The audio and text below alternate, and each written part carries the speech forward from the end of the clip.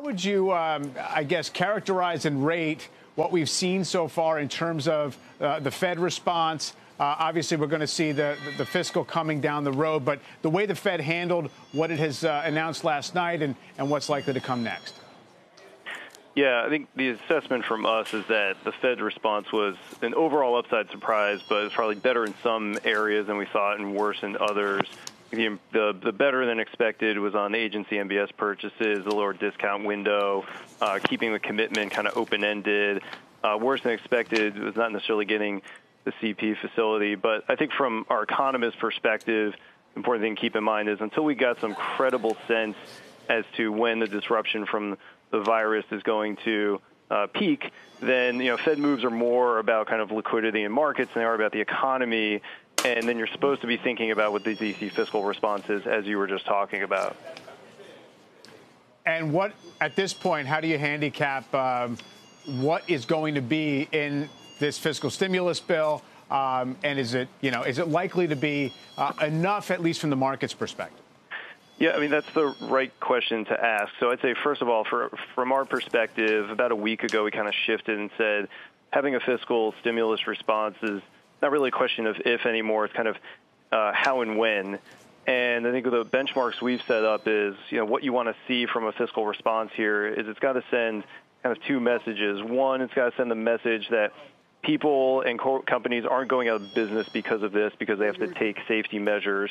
That sort of requires the targeted liquidity um, issues that you see in the House bill, temporary paid leave, things that we expect you might see, like uh, business loans and tax breaks. And then, you know, part two is you got to build faith in the V-shaped recovery.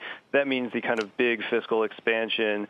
It doesn't necessarily get people out of their houses in the short term, uh, but it does put capital in the system so that the animal spirits are there uh, for when this does pass. Um, you know, I'd say we're kind of agnostic on is does that come in the form of state and local grants? Does it come in the form of tax cuts? Um, we're agnostic on that as long as it's a, a big enough number.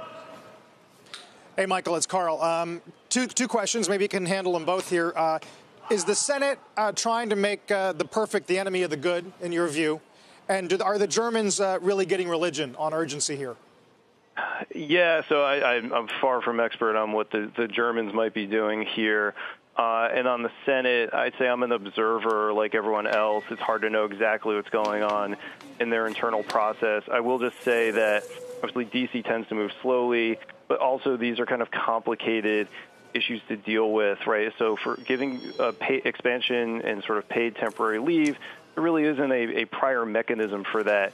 So there is something you have to set up in terms of are you mandating states? Are you pumping money to them to do that? Those are a little more complex than they sound. So some of this is just operationally fixing some of the safety net issues that pre-existed. Right. But do you get the sense that response this time around versus the crisis will be uh, less apologetic, uh, where speed is more of the essence? Uh, I think there's a good chance that that's the way it'll play out. Uh, unlike the financial crisis, there really isn't much of a moral hazard issue here, right? You're, you're not sort of rescuing folks from making poor decisions from themselves. I don't think that's really lost on anyone. And in fact, I think it probably helps speed things along. Not that this is a good thing, but it probably helps speed things along when the OPEC Plus arrangement um, collapsed a couple weeks ago because sort of made the economic risks sort of acute and live in a number of states uh, where representatives from Congress might have been resistant to thinking about economic impacts from the flu.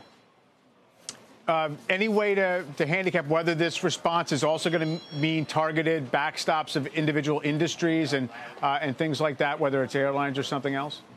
Yeah, I mean, like, I'm, I'm watching the news just like you guys are. I mean, certainly there's some precedent for that from uh, from the response after September 11th. So I, I think it's something that is going to be considered.